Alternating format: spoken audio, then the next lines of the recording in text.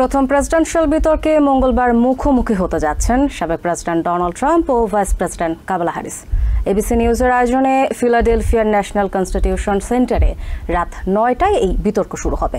Media ব্যক্তিত্ব রিক স্মাইলিকে দেওয়া audio সাক্ষাৎকারে কামালা হ্যারিস বলেছেন, বিতর্কে ট্রাম্পের মিথ্যাচার ও ব্যক্তিগত আক্রমণ মোকাবেলার প্রস্তুতি নিচ্ছেন তিনি।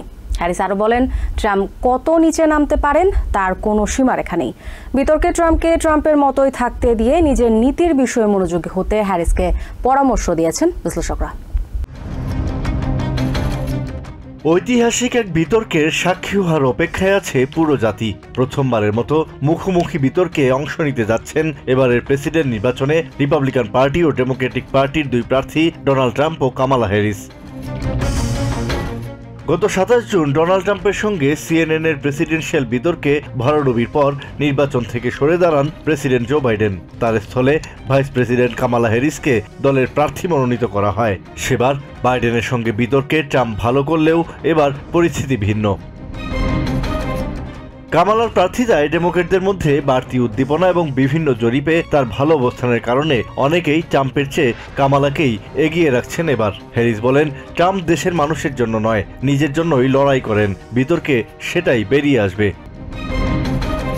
রাজনৈতিক বিশ্লেষক ক্রিস সিলিজা বলেন, হ্যারিসের উচিত হবে বিতর্কে ট্রাম্পের বিপরীতে নিজের ভবিষ্যৎ পরিকল্পনা তুলে ধরা।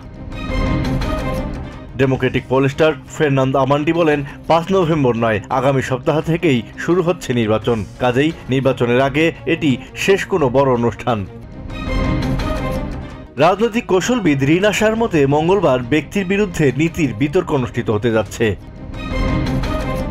দেশের জন্য কাজ করতে গিয়ে নিহত এক সেনা সদস্যের বাবা খিজির খান বলেন, ট্রাম্পের বিভিন্ন বক্তব্যে দেশের ভবিষ্যৎ গণতন্ত্র নিয়ে তিনি উদ্বিগ্ন। খিজির খান দাবি করেন, ট্রাম্প অনেকবার তার বক্তব্যে বলেছেন তিনি নির্বাচনী কর্মীদের বিচার করবেন। ট্রাম্প তার কথা ও কাজে প্রমাণ করেছেন, তিনি দেশের জন্য কতটা ক্ষতিকারক। ব্যাটল গ্রাউন্ড স্টেট পেনসিলভেনিয়ায় ট্রাম্প ও হ্যারিসের মধ্যে হতে যাওয়া এই বিতর্ক অনুষ্ঠানটি সঞ্চালনা করবেন এবিসি নিউজের দুই সাংবাদিক, ডেভিড মুইর এবং Linsey Davis. Asad GL TVN twenty four, news desk.